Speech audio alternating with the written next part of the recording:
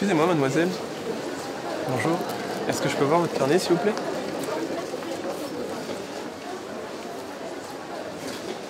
C'est à vous?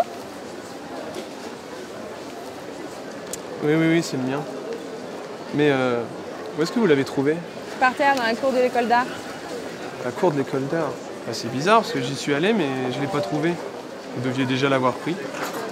Mais en tout cas, merci beaucoup. Hein.